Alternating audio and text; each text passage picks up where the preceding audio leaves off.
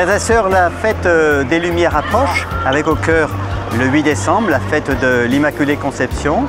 Ce soir-là, nous monterons en procession à Fourvière pour dire merci Marie. Merci Marie pour tout ce que tu nous donnes. Merci de nous avoir donné Jésus.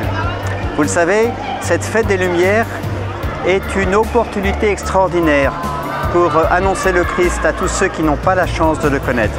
Et c'est pourquoi, dans l'élan de ma lettre pastorale, Cap sur la mission, je vous envoie en mission.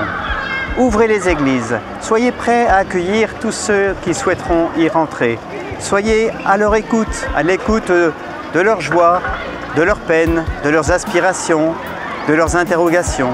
Soyez prêts à rendre compte de l'espérance qui est en vous et à dire ce que le Seigneur a fait pour vous dans sa miséricorde.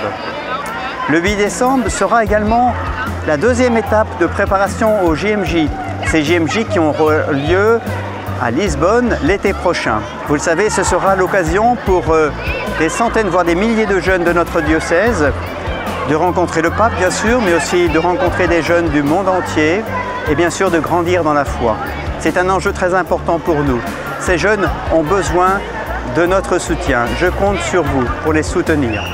Le thème de ces JMJ sera Marie se leva et partit avec empressement. Vous l'avez reconnu, ça fait allusion à l'épisode de la visitation.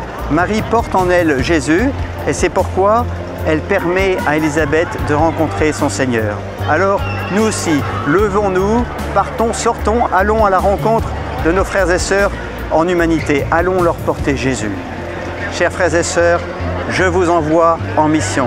Soyez des missionnaires, soyez des témoins de la joie et de la miséricorde de Dieu, et qu'il vous bénisse.